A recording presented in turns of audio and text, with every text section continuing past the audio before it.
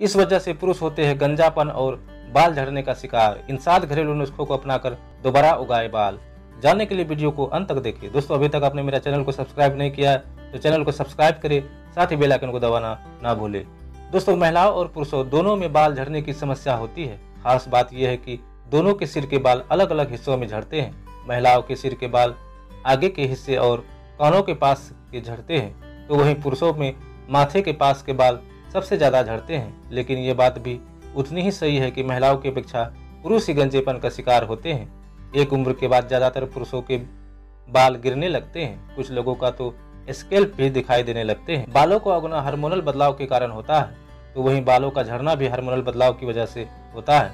कई पुरुषों में गंजापन जेनेटिक भी होता है। तो आइए जानते हैं, पुरुष गंजेपन का शिकार क्यों होते हैं, फिर उनके बाल क्यों झड़ते हैं, साथ ही बालों को फिर से उगाने के घरेलू उपाय के बारे में। पुरुषों के बाल झड़ने का कारण। दोस्तों, आमतौर पर 30 साल की उम्र के बाद पुरुषों के बाल झड़ने लगते हैं। कई बार तो 50 की उम्र आते आते सिर के आधे से ज़्यादा बाल झड़ जाते हैं और स्केल्प दिखने लगता है। यह पुरुषों में स्रावित होने वाले एंड्रोजन समूह का टेराइड हार्मोन है। पुरुषों के सिर के बालों का झड़ना इसी वजह से होता है। शरीर में कुछ ऐसे एंजाइम होते हैं जो टेस्टोस्टेरोन को डिहाइड्रोस्टेरोन में बदल देते हैं। यही डिहाइड्रोस्टेरोन बालों को पतला और कमज़ोर कर देता है, जिसकी वजह से बाल झड़ने लगते हैं। ये एंजाइम आमतौर पर अनुवांशिक होते हैं। इसी वजह से ज़्यादातर पुरुषों में गंजेपन की समस्या अनुवांशिक होती है। आइए जानते हैं पुरुषों के बाल दोबारा उगाने के लिए कुछ घरेलू उपाय के बारे में। दोस्तों, पुरुषों के सिर पे बाल बीच बीच में से गायब होने लगते हैं। ऐसे में जिस जगह से बाल गायब हो गए हैं, वहाँ पर दिन में दो से तीन बार नींबू को रगड़िए। इससे बाल कुछ ही दिनों में दोबारा निकल आएँगे।